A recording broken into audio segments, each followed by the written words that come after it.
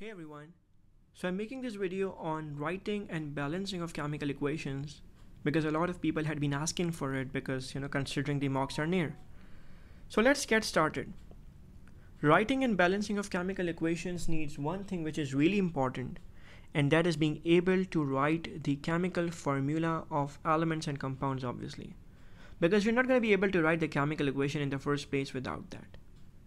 So in O-level chemistry, we only have writing of the chemical formula of binary compounds. Now these could be binary covalent compounds or these could be binary ionic compounds which have two ions in them. So two elements or two ions and that's the main idea of being able to write the formula. For example, we have three different compounds which is magnesium chloride, potassium oxide and aluminium bromide. They have two elements each. Magnesium from being group 2 has a charge of plus 2 and chloride is in group 7 so it has a charge of minus 1. We swap the charges so that magnesium gets a 1 from chloride and chloride gets a 2 from magnesium's charge it becomes MgCl2. Potassium oxide has K with a plus 1 and O with a minus 2. So potassium gets a 2 because of the oxide's charge and oxide gets nothing because potassium is plus 1 we don't write that. In aluminium bromide, aluminium makes a charge of plus 3 bromide makes a charge of minus 1. So aluminium gets nothing because we don't write a 1, but bromide gets a 3 because aluminium has it. Now when we talk about the binary ionic compounds, we have a cation and anion together over here. So let's recall the common cations which have the plus charge on them, which are metals from group 1. So like lithium, sodium, potassium have a charge of plus 1 on them magnesium, calcium, strontium, barium are in group 2, so they lose 2 electrons and become a charge of plus 2. Aluminium is in group 3, so it loses 3 electrons, become plus 3. And in transition elements, we have a lot of transition elements like zinc, copper, iron 2, iron 3, lead, and silver. From the anion side, we have group 7 anions, which are known as the halides. They're in group 7, they gain electrons and they become minus 1 charge, group 7 fluoride, chloride, bromide, iodide. Oxide is minus 2 from group 6, sulfide is minus 2 from group 6, they gain 2 electrons.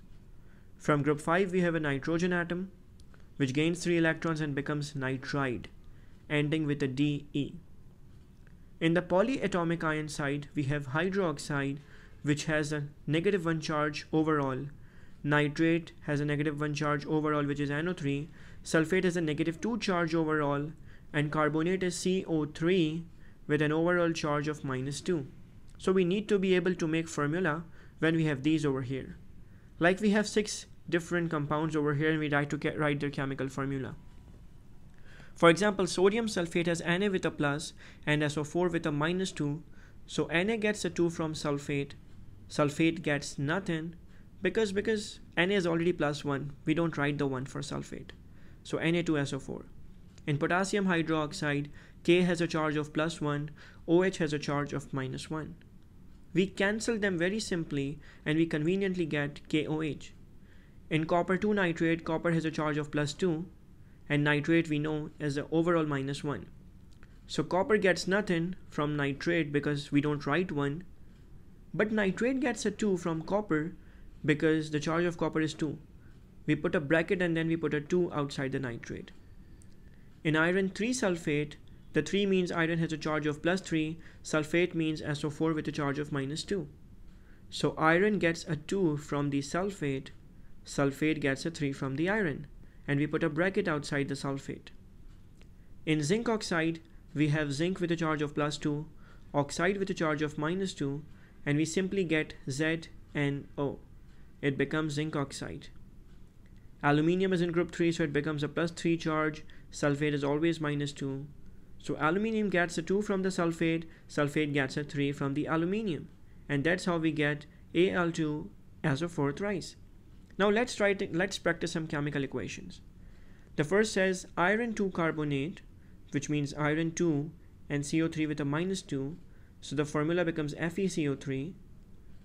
Iron 2 carbonate decomposes, which means reacts alone does not react with anything, just heats up, breaks down to produce, which means the products are iron 2 oxide, iron with a plus 2, oxide with a minus 2.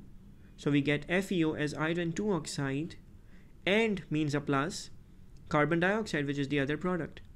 So FeCO3 is the reactant. It produces FeO which is iron 2 oxide and carbon dioxide. This is the first equation. In the second equation it says sulfuric acid neutralizes. Neutralizes is just another word for reacting. Reacts with potassium hydroxide. We know potassium hydroxide is KOH because K is plus 1, OH is minus 1, KOH. To give means the products are potassium sulfate, which means K with a plus 1, sulfate with a minus 2, so K2SO4 because potassium gets a 2 from the sulfate, and water. While we write the equation KOH, K2SO4 and H2O, we notice that the potassium atoms are not balanced and also the hydrogens by the way. There are two potassium atoms on the right side but one on the left. So we need to put a bigger 2 before the KOH to balance it. And now we count the number of hydrogens, we need to do something else.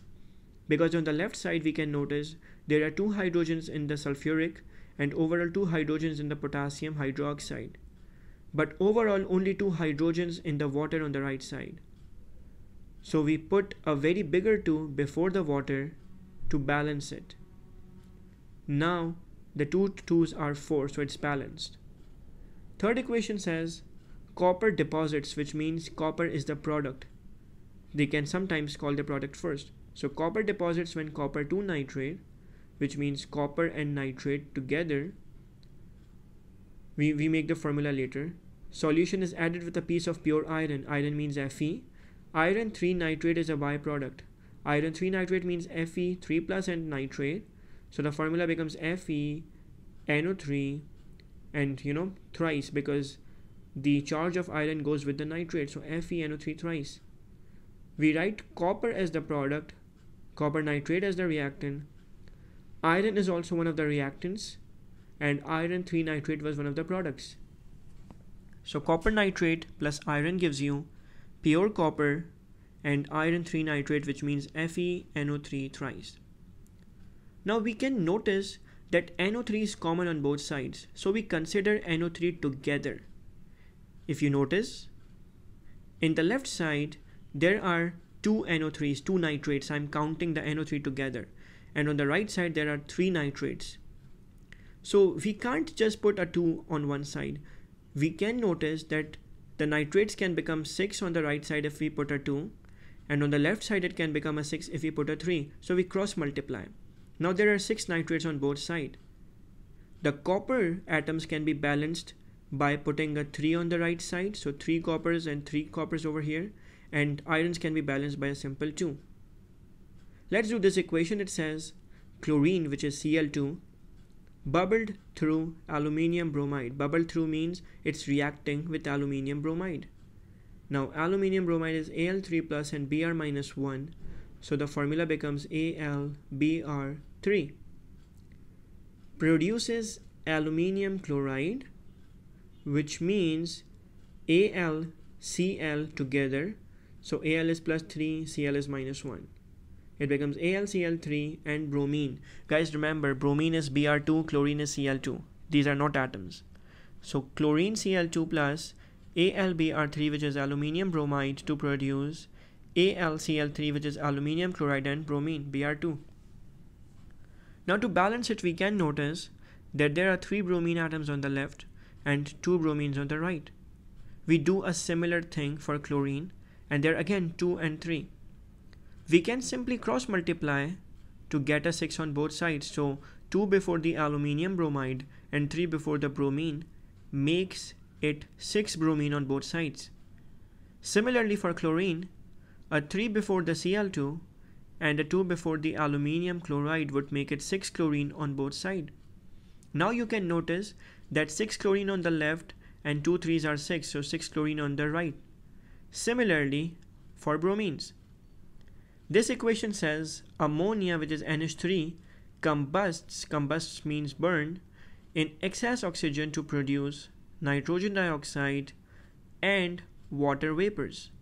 So NH3 plus oxygen gives us NO2 which is nitrogen dioxide and water vapors. Now you can notice that there are three hydrogens on the left hand side as a part of ammonia but two hydrogens on the right side as a part of the water molecule. Simply, we just cross multiply 2 before the ammonia to make it 6 hydrogen atoms and 3 before the water to make it 6 hydrogen atoms. Now they are balanced. The nitrogen atoms are 2 on the left side, so we put a 2 before the NO2 and now it becomes balanced as nitrogen atoms are 2 on both sides. Lastly, we need to balance the oxygen atoms. So we count how many oxygen atoms are on the right side. Two molecules of NO2 have 4 atoms of oxygen and 3 molecules of water have 3 which is total of 7. 7 oxygen on the right side. So we put a 7 over 2 with the O2 because you can notice there is already a 2 with the oxygen. So we put a 7 over 2 we can write fractions it's not a problem. But if you're not comfortable writing fractions, you multiply the whole equation by 2. So it becomes 4 ammonia instead of 2. It becomes 7 oxygen instead of 7 over 2. 4 NO2s and 6 waters. You can write this equation this way or you can write it in the previous way like 2 ammonias, 7 over 2 oxygens, 2 nitrogen dioxides and 3 waters.